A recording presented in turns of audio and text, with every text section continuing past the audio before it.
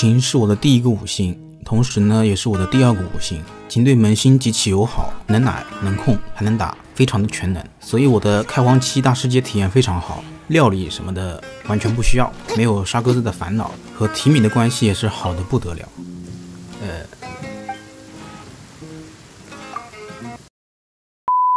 大家好，我是思凡。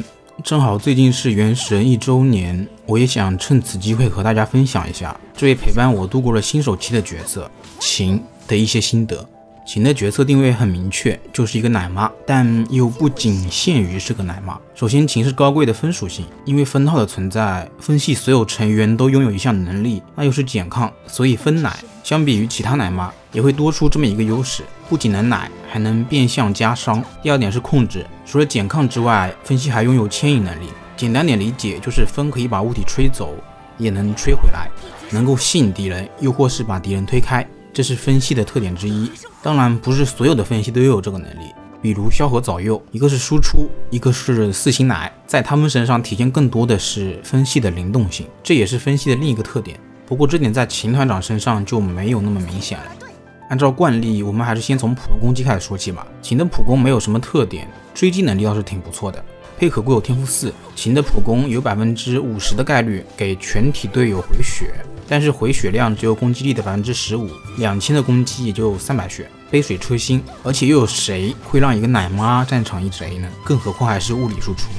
所以一般来说，除非是输出真空期了，又或者说是队友全残血了，而琴又没有大招，这种情况才有可能会拉琴出来砍几下。当然连击还是会经常用到的。着重聊一聊琴的重击。如果我没记错的话，琴是现有角色里唯一一个重击可以使敌人浮空的角色。琴的重击上调可以使敌人浮空，期间敌人的下落速度会变得非常缓慢，是对小体型怪宝具，例如贼烦的讨债人，琴可以一直控住他。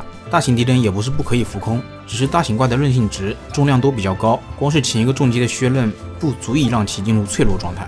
比如秋秋岩盔王，我们得打好几次重击才行。而且即使能浮空，重量太大的怪也浮不了多久，不一会儿就会掉下来。像是冰胖、水胖这俩虽然不是大型怪，但是他们重啊，笑死，根本浮不起来。而且韧性每秒都是在回复的。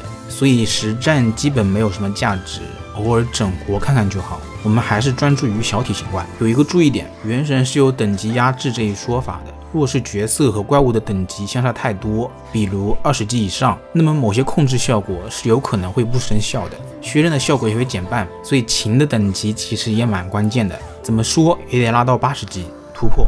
琴的元素战绩应该是分析牵引能力最好的体现，也是原来是这样做到的吗？的艾琳小姐所经常说的一句话：“风压剑。”点按元素战绩，前会唤出旋风，将前方的敌人击飞。根据怪物体型、重量的不同，击飞的效果也会有所变化。像是小丘丘人会直接飞出几米远，人形怪是当前的韧性值可能是往后退几步，有可能是直接被吹飞。没有盾条的大丘丘人、海乱鬼、炎龙蜥等则是被击退。小宝这种真大型怪。则是毫无反应，击退的实用价值很高。在实战中，我们可以利用击退来打断敌人的某些攻击，一来可以节省闪避的体力，二来可以增加输出空间。像是深渊法师的回盾动作也能打断，但部分不可打断的强制施法动作则不行。长按元素战绩，琴会以消耗体力为代价吸引周围的敌人，这个吸引的范围会比你想象中的要大。期间琴不能移动，我们可以自由控制攻击的方向。选择将敌人往天上扔，又或是往哪扔，全看你心情。这招也同样只对小体型怪生效，大型怪只有被浮空了才能吸起来，只是吸起来了也吹不动，没啥意义。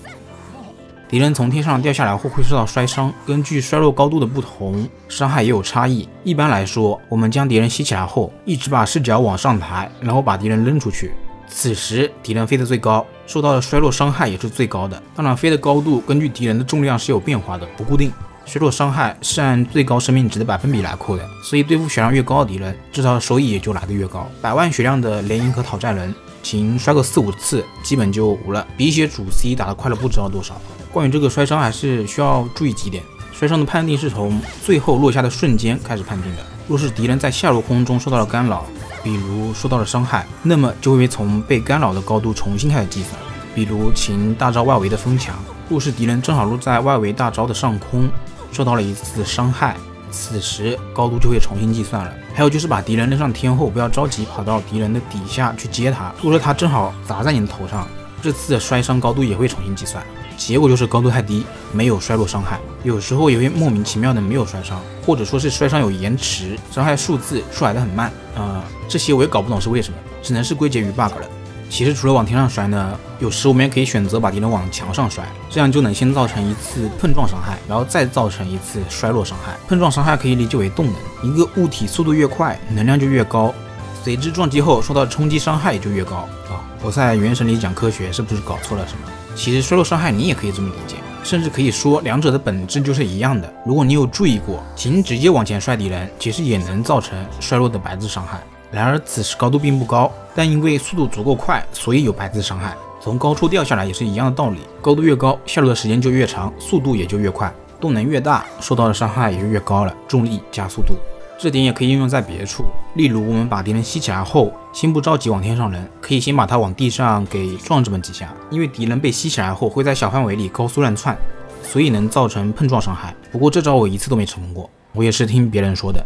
除此之外，类似的应用还有温迪的龙卷和钟离的柱子。如果柱子卡得足够好，那么龙卷中的敌人因为高速乱窜的原因，也会受到碰撞伤害。不过这招我也没成功过，可能是我手法不对，也有可能是从某个版本开始就被优化掉了吧。而且现在的深渊为了克制琴，也是出了一个附魔系统，场地上往往会有一个地脉，地脉会给场上的敌人附上属性，比如雷元素。这时我们虽然可以吸得动敌人，但是却不能把他们给扔出去了。就感觉是变重了一样，只有通过元素反应把他们身上的这层膜给反应掉了，才能继续扔。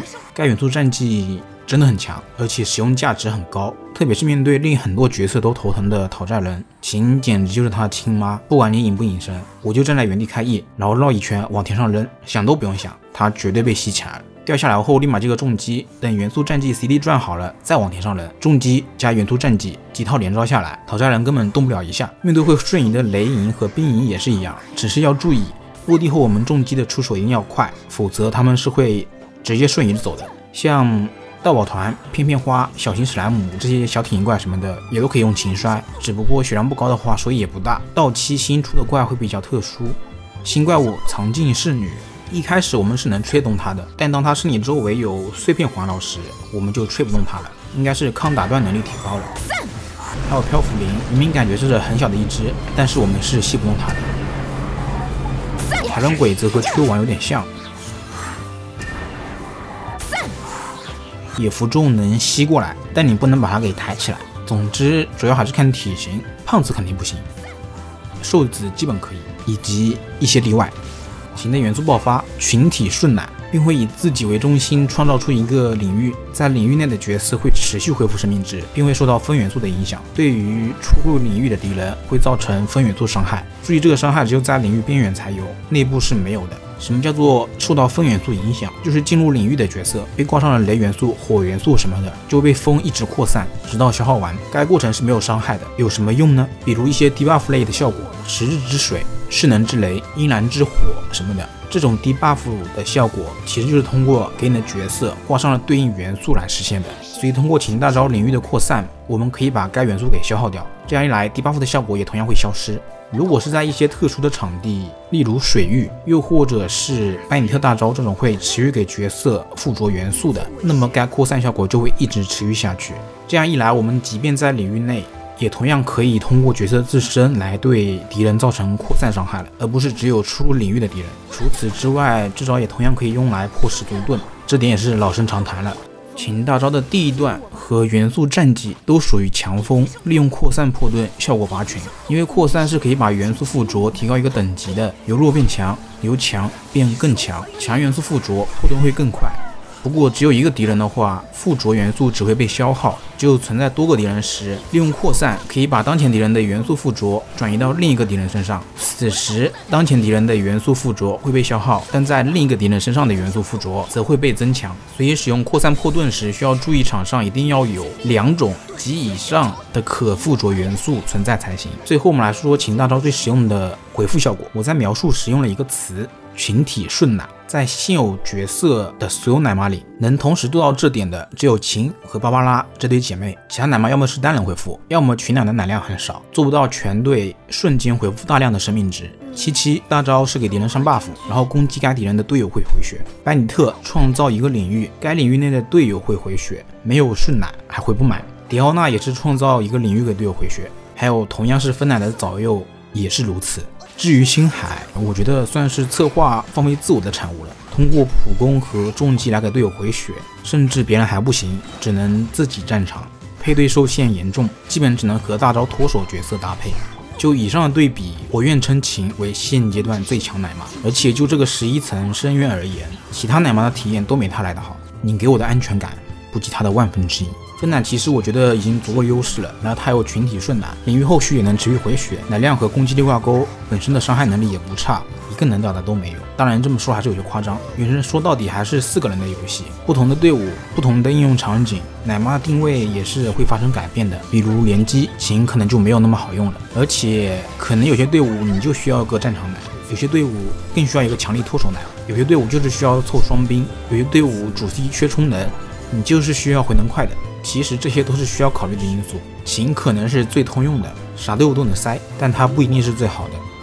命座琴价值比较高的命座应该是二命和四命。二命是少数可以提高攻速的手段之一，四命则能降低敌人的百分之四十的分抗。这下分元素也有减抗了，萧狂喜。一命提高了元素战绩长按的牵引速度和伤害，摔敌人更快更方便了。这个一秒怎么判断呢？长按元素战绩一段时间，你会听到叮的一声，这个就是一秒的提示，还是很好触发的。六命是减伤百分之三十五，减伤说稀有，它也不稀有，放在六命就感觉价值不对等，三次的上限也没有什么意义。如果是直接免疫三次伤害，那就很有用了。现在只能是和别的角色整活，弄个百分之百减伤，但聊胜于无嘛。减伤其实也还是香的，剩一物就选四封套。现在的分析角色基本没有其他选择，光减抗这一点就注定了分套会长时间保值下去。各部位就选攻击杀、分伤杯、暴击爆双头，琴伤害不低，完全可以这么打。你可以换成充能杀、攻击杯。如果你希望琴是个纯奶妈，也可以换成攻击杯、攻击头。但我说实话，就我自己的体验，如果你奶的不是钟离，一个攻击杀的奶量其实是足够的，还是觉得少，没有高攻击的五金单手剑，那就再来一个攻击杯或者攻击头。总之，想要奶量高，堆攻击就完事了。武器的选择也很简单，想要大招开的更频繁，容错率更高，那就选择充能武器；想要奶量更高，那就选择高攻击武器。封印剑、天空之刃，有哪个用哪个。四星武器可以选择西风剑，增加辅助能力。也可以选择高攻击的暗象闪光，按上面的标准去选就好。队伍搭配其实我觉得也没啥好说的。我认为琴是一个通用奶妈，哪个队伍缺盾奶都可以选择它，本身的功能性也很强，伤害其实也够看，而且是风系，光减抗对主 C 的输出提升就很大了。从配对的角度来说，搭建一个队伍显然需要一个核心，它可以是个主 C，也可以是某种流派，像是核爆、元素反应什么的。很显然，秦不属于这类，它只能算是某些队伍的拼图，在某些高压或是特定环境下，我们都可以把队伍里的某个人换成他，他可以是某人的下位替代，但他总有属于他自己的优势，他总有一点能打动到你。我觉得这就是他的价值，没有非他不可，但您总会需要他。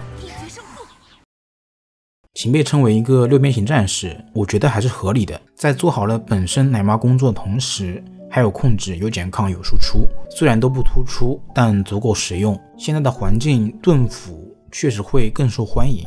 但就最近这期深渊来说，我想策划也在考虑要提高奶妈的地位了。这个十一层有群奶和没群奶真的是两种体验。如果你有情，不管你是不是萌新，我都建议练一个。那么以上就是本期视频的全部内容了。如果觉得有帮助到你，还请点赞投币一键三连，当然关注是最好的了。我是思凡，我们下期再见。